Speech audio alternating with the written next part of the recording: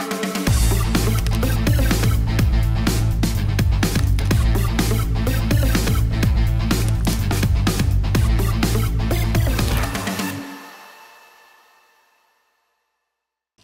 Jebretin bahasan kita hari ini menarik sekali tentang jelik ya. Nesa uh, sebenarnya kurang paham, makanya senang banget ini dibahas sama Panji yang paling paham dan expert banget di bidang Udah pakai jelik kaos, udah bajunya, jelik Bener, bener, bener. Jadi denger-denger dan baca-baca nih Jebretin. Ya. Banyak juga loh Jebretin itu yang ngikutin, yang pintar nonton jelik Hmm. ya. Jelik ini adalah liga kasta tertinggi Jepang ya. Udah mulai lagi setelah jeda internasional kemarin. Waduh kalau dilihat-lihat emang pemainnya unyu-unyu juga sih ya. Sipit-sipit gitu kan orang Jepang. Hai, Hai, hai, ohayo gozaimasu. Arigato gozaimasu. Namanya Saya kalau- semuanya pakai san, namanya sama belakangnya san. ya? Panjisan. Panjisan. Karena dia Panjisan, suka belanja ini. Enggak, enggak. Jadi, Eh. kan kalau kita ngomongin soal kemarin Jepang, ini menarik karena Jepang justru di luar jeliknya dulu. Karena kemarin Jepangnya juga baru mengharumkan nama dunia dengan membantai Jerman yang akhirnya membuat pelatihnya yang digadang-gadang eh, menjadi pelatih besar ke depannya. Tapi justru kemarin justru dipecat eh, dari Jerman yaitu Hansi Flick. Dan kemarin dibantai 4-1. Dan ada salah satu pemain yang kemarin ada di timnas Jepang itu kiper ya si O- Osako, Keisuke Osako yang mungkin ini menjadi generasi setelah kemarin Gonda atau eh, Eiji Kawashima yang sudah ya. tua banget gitu ya. Nah, tapi kalau melihat- Kawaguchi. Ya, oh, betul, Betul, lebih tua lagi. banget Mas. Apalagi kemarin yang pemain yang kipernya Urawa juga yang ada keturunan Brazil yang mau dibeli sama Iya, iya. MU gitu ya. Mungkin generasi-generasi yang akan bersaing sama Osako. Tapi kalau melihat kemarin Osako ini apakah menjadi kiper temporary buat timnas Jepang atau menurut dia punya chance ke depannya untuk bisa eh, menjadi apa ya kiper utama di Jepang juga karena di Visel kan emang dia utama apa Visel lagi di- naik nih apakah otomatis dia akan menjadi kiper utama Ya, di timnas Jepang? mungkin kiper adalah posisi satu-satunya yang paling mungkin pakai pemain J-League ya. Oke. Eh, ya kalau kita tahu di berapa berapa international break terakhir kita hanya ngelihat memang nggak banyak slot untuk pemain J-League. 4, 5, 4 lah yang paling paling sering. Ya karena kebanyakan mainnya udah di Eropa sekarang kan. Di di apa Bundesliga aja ada ada 8 pemain. Cuman ini justru buat J-League-nya ini kan punya punya persaingan yang begitu ketat ya. Jadi semua pemain tuh bisa hanya memperebutkan empat posisi lo bayangin. Empat posisi eh, gelandang, eh, back satu sama sama sama kiper. Itu kan nunjukin gimana eh, si Jelik ini tuh bisa bisa membuat kompetisinya sesehat itu sampai sampai lu mencari slot untuk masuk ke pemain inti aja aja susah gitu loh. Jadi memang yang bisa masuk ke sini memang betul-betul pilihan pemain yang betul-betul di Jelik. Nah, sementara yang main di Eropa kan juga nggak langsung ujuk-ujuk di Eropa. Mereka juga pasti lewat Jelik dulu kan. Iya. Pasti mereka lewat Jelik dan sekarang di Eropa. Cuman mengingat mereka untuk untuk terbang lebih dekat dengan dengan dengan negara-negara mereka, ya akhirnya yang ba- banyak dipakai adalah pemain-pemain yang memang bertabur di Eropa. Yang, yang lucunya sih soal si O- O- Osako itu kan, si pelatih Michael Skibe bilang ah sebenarnya dia main biasa aja karena Jepang nggak Jerman nggak banyak muji kita kok. Jadi sekalian sekalian banget. yo, iya, selain, flexing selain depan Jerman, ini Jerman. Turki sama Uruguay loh. Ini kemarin dibantai 4-1 juga kan? Iya, sama Uruguay mereka menang juga juga 2-1. Iya, jadi hebat banget ya. Kalau emang bagi Osako nih kayaknya baru pertampilan kedua dia tahun ini. Iya, iya. Dia baru ada 5 Total caps. lima ya? Iya, di Piala Dunia Qatar kemarin ada 10 pemain Jelik ya. Eh, yang pemain dengan penampilan terbanyak adalah kiper eh, Shimizu itu tadi Iya, yang lu sebut itu. Dia itu Gonda, Gonda, itu empat Dia di- di penampilan. Depok salah dia. Gonda. Mar. Di Margon. Margon nama depannya ya. Margonda. Iya, benar. ya, tapi kalau, Suka bercandaan kita ya, Dan di weekend nanti kan ada jadi setiap eh, apa setiap week, eh, setiap pekannya eh, Jelik akan menayangkan gratis di YouTube itu empat pertandingan tiap pekannya dan antara satu laga sangat seru yaitu antara Sanfrecce Hiroshima menghadapi Vissel Kobe. Orang mungkin tahunya Vissel, Kobe dengan eh, Iniesta-nya sekarang gantian ada seorang pemain Spanyol juga yaitu Juan Mata. Dan menariknya Vissel Kobe ini kan tim yang kalau nggak salah juga baru juga kan belakangan naik juga terus juga sekarang hebatnya ada di posisi pertama dan beberapa pemainnya juga ada di timnas juga kan mas apakah ini tanda-tanda Vissel Kobe bisa meraih juara pertamanya untuk musim ini eh Iya. untuk untuk dalam sejarah untuk meraih juara pertama J-League kali juara. Jelik untuk Ya. pertama kali ya. Ya ini kan tim barunya sebenarnya nggak baru-baru banget sih. Awal 2000-an tuh mereka udah ada di di apa? di J1. Ya. Waktu itu gue sempat liputan juga ke situ ketika Yoshikatsu Kawa, eh Kawaguchi lagi.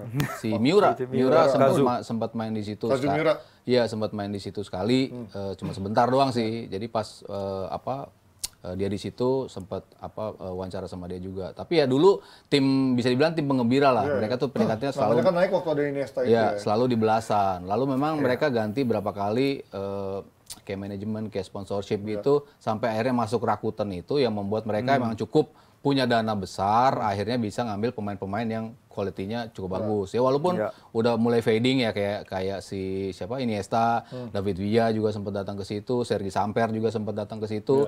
Ya tiga tiga mantan Barcelona ini akhirnya membuat si Vissel ya cukup bagus. Dia akhirnya bisa mendapatkan satu trofi Jelly Cup. Itu eh, mereka bisa dapatkan eh, itu dan ini kalau mereka bisa sampai kemarin kan mereka si peringkat ketiga ya dua tahun lalu kalau nggak salah mereka peringkat ketiga peringkat tertinggi mereka sepanjang sejarah dan akhirnya Terus ya. mereka ini ada kesempatan bagi mereka untuk bisa menjadi juara Walaupun masih ada 12 pertandingan ya dan masih 12 Iya, San- 12. Lo pernah tinggal di Kobe kan, Mas?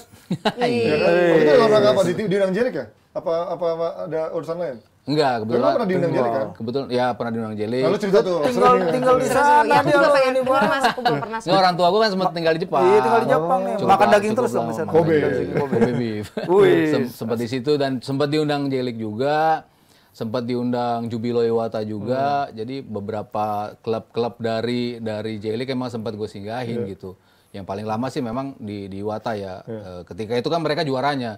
Untuk pertama kali so- tim juara, dulu kan mereka masih pakai dua leg kan. Iya. Satu putaran Oh, pertama, iya, iya, iya, habis iya. itu putaran kedua, juara dari masing-masing putaran diketemukan di Santori Cup dulu. Iya, Itu yang menjadi juara eh, Jepangnya. Tapi Iwata tahun 2002 itu akhirnya mereka juara di putaran pertama, juara di putaran kedua, akhirnya nggak ada nggak ada Iya. Santori Cup itu mereka menjadi juara.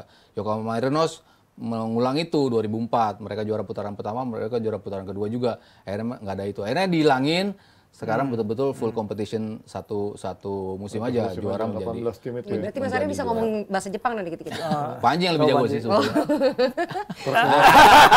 Lo bisa, Tateng aiste imasu. Artinya aku sangat suka kamu. Iya, Gua sering pengen dipakai ya, sering dipakai ya. Karena gue dulu pernah punya gebetan keturunan Jepang. Emang bisa bahasa Jepang juga. Kangen, Oh, enggak dong, jangan dong. Istri nonton Kok tadi bilang ya? stalking mantan? Tolong. Gir, lawannya Sanfrecce Hiroshima. Walaupun Yes. eh, ada di peringkat kelima ya kalau nggak salah, tapi dia eh enggak jaraknya cuma 5 Iya. poin dari peringkat ketiga. Artinya dia masih punya chance untuk bisa naik ke papan, papan atas Papan untuk atas, bisa ya. di kualifikasi kontinental kan. Menurut lo Iya, bisa jadi- menjegal Whistle nggak nih? Sanfrecce itu kalau gue lihat ya hanya kalah tiga kali dari Iya. 13 laga kandang musim ini dan mencetak Dan empat 18 pertandingan terakhir juga belum kalah ya? Iya dan dia punya rekor bagus ya lawan eh, Kobe. Jadi menurut gue emang ini ujian eh, bagi Visel juga t- kita juga Visel salah satu pemain yang dulu si Lukas Podolski juga ya Mas. Iya, ya? sempat. Ternyata eh, ya pernah di situ juga. Dan ya menurut gua akan jadi pertandingan yang eh, ramai juga karena walaupun dia ada di atas tapi nggak bukan jaminan ya. Apalagi dengan rekor buruknya Visel lawan Sanfrecce berapa pertandingan terakhir tuh tiga apa empat gitu selalu eh, kalah walaupun itu ketika main di kandangnya eh, Sanfrecce ya. itu Walaupun kemarin menang mereka ya 2-0. Iya. Ah, Yang 2-0 pertemuan ya. pertama di musim ini. Iya. yang pertama pertama iya karena di, di kandangnya ini Iya, kan di kandangnya Visel. jadi ya kita akan lihat ya apalagi ada top scorernya si Jepang kan juga main di Visel ya si Asako As- Iya. Wala- apa, walaupun nggak masuk timnas Jerman ya. Walaupun nggak tapi, Tapi gila sih. Semua top scorernya mereka yang ada di J League, semua semuanya nggak ada yang masuk timnas. Iya. Tapi gue heran nih kok Jepang itu bisa gampang banget sih mas untuk bisa akhirnya trial atau apakah mereka melakukan kerjasama sama beberapa apa lig-lig di Eropa kayak Jerman kan banyak banget Bundesliga, akhirnya orang iya. Jepang orang Korea terus juga di Belgia belakangan juga banyak orang Jepang apakah mereka melakukan kerjasama akhirnya ada kayak apa istilahnya klub satelit dan juga klub Iya, itu nggak sih? sister club gitu ya. Iya, iya. Ya ada beberapa sister club si Saint Gula. kayaknya itu sama juga. Bundesliga mereka ada Iya, kerjasama sama. Bundesliga juga mereka. Dan dan kalau mereka kan dianggap Asia tapi levelnya udah Eropa kan dari sisi dari sisi fisikal, Iya, Badannya aja udah dari beda. sisi cara mereka makan, dari sisi cara mereka main, dari sisi mereka Disiplinnya disiplinnya, sih ya, disiplin. itu udah mirip kan Korea Jepang tuh eh, 11-12 lah. Makanya kenapa mereka bisa gampang settle. Lalu kita bicara musim, musim juga sama. Hampir ada empat musim juga kan di Jepang di Korea. Jadi mereka aklimatisasi pasti nggak butuh waktu panjang. Mereka bisa langsung nyetel. Ditambah lagi tadi itu eh, fisik, disiplin segala macamnya itu udah udah hampir sama sama pemain-pemain eh, Eropa. Bahkan gua rasa ngelebihin sih kalau dari sisi disiplin gitu. Ya mungkin cuma postur yang mereka kalah. Cuman sekarang mereka udah bisa bisa maksimalin apa sih yang gue punya gitu kan dari sisi kecepatan ya udah nanti mereka nggak maksa untuk bola-bola atas gitu misalnya tapi mereka bisa manfaatin apa yang mereka punya emang. Iya kayak Jerman kemarin dihajar pakai speednya Iya, mereka speed, kan bola bawah crossing bawah gitu Kubo tapi juga sekarang lagi tapi bahkan banget. Jepang pun masih ada juga sebenarnya pemain-pemain berdarah-darah luar ya maksudnya kayak darah Masih, Brazil masih, masih, ada yang masih. bisa artinya sebenarnya dia juga nggak selamanya Hmm. sekuat itu juga kan, Iya. ada daerah-daerah luar juga. Kayak kipernya sekarang si Smith itu kan lahir di Amerika, punya Iya. eh, pernah main di tim Belgia juga kan. Centurion ya, eh apa klubnya ya? Iya. Ya. Nah, Juan Mata ada di Vissel Kobe sekarang. Dalam berapa tahun terakhir dia udah menurun, terakhir di Galatasaray. Apakah masih bisa menghadirkan sparkling kayak si spark-spark kayak si Iniesta? Iya. Di Kobe kan kerasa banget si Iya. peran Iniesta ya. Tergantung gaya main sih. Kalau Iniesta kan emang eh, purely dia nggak lagi ngandelin speed jelas. Jadi dia udah mirip-mirip kayak Messi lah mainnya. Udah distribute bola, eh, visionnya yang lebih dipakai di, di sisi itu. Mata kan kadang-kadang dia bisa melakukan itu gitu. Cuman kadang-kadang dia suka maksain lagi-lagi pakai speed dia di mana sebetulnya udah ketinggalan dari sisi speed. Kalau dia bisa adjusting gaya bermain dia dengan gaya bermain yang lebih lebih tenang, lebih eh, lo jadi dirijen di lapangan eh, tengah, Pajak nggak dia dirijennya? Aduh. Aduh. Gue pikir direktur jenderal. Bukan. Tungguin punchline. Dirijen ya. kalau Punchline kalau kalau dia bisa evolve menjadi pemain seperti itu, gua rasa dia justru akan semakin perannya semakin semakin terasa. Karena kan kita tahu sebetulnya umpan-umpan dia cukup precise, umpan-umpan be- membelah lawan tuh cukup bagus. Umpan-umpan mendatarnya mau pendek mau panjang masih ada sih selalu dia. bagus. Nah, gua rasa itu yang harus dimaksimalin dan para pemain Jepang ya dia tinggal diumpanin aja sama dia dengan kecepatan-kecepatan mereka.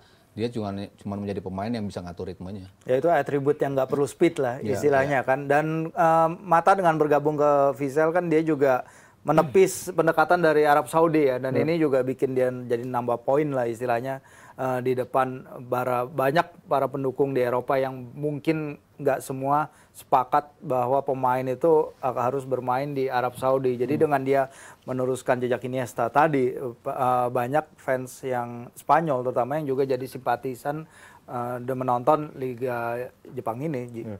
Tapi kalau melihat sekarang persaingannya tiap tahun tuh kayaknya papan atasnya Ya. bisa Berubah berubah terus terus ya. ya. Bahkan eh, Sanfrecce tahun lalu di peringkat ketiga. Sekarang tuh kayaknya Urawares saja ada di peringkat cukup jauh gitu mas. Eh, sekarang di tiga ya, tapi tahun lalu dia peringkat 8 nggak salah Urawares walaupun dia juara eh, Piala Champions Asia kan di tahun 2023 baru pakai baju yang sama kayak gini.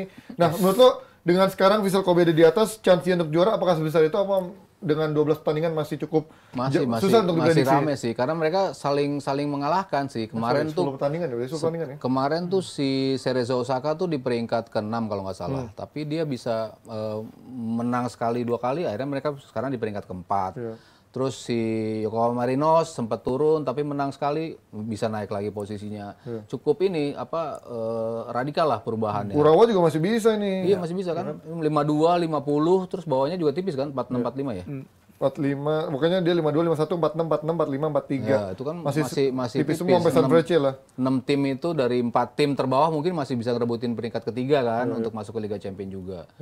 Oke, prediksi asik. Waduh. Vissel Kobe lawan San Frecce. Ini kandang San Frecce kayaknya ya. Iya, sama-sama trennya lagi bagus sih, sama-sama belum kalah di empat Iya, pertandingan terakhir, sementara San Frecce 3 menang, satu imbang, kalau si Vissel 2 menang, 2 seri. Sama-sama belum pernah kalah. Berat sih karena su- sulit ya nembak J- Jelik itu. Tapi ya gue melihatnya sih partainya lebih ke imbang sih malah. Imbang ya. Iya, itu imbang kayak dua pertemuan terakhir ya, satu-satu kan mereka imbang. Yang di kandang itu ya. Hmm, yang di kandang San Frecce. Jadi ya gue Kobe deh biar nggak sama. Kobe. ya. Tadi gue mau imbang juga, tapi Mas Aryo keburu, keburu duluan imbang. ya mudah-mudahan Juan Mata mantan main ini bisa mencetak gol dan juga membawa Kobe menang ya. Betul. Nah, Jibratim kalau kalian misalnya ada pertanyaan atau punya info-info menarik seputar Jelik, boleh banget kalian uh, share ke kita, nanti kita baca-bacain ya. Terima kasih banyak Jibratim yang udah nonton 4 episode Arigato. kita hari ini. Hai hai hai hai. Dan kita ketemu lagi hari Senin. Terima kasih. Hai.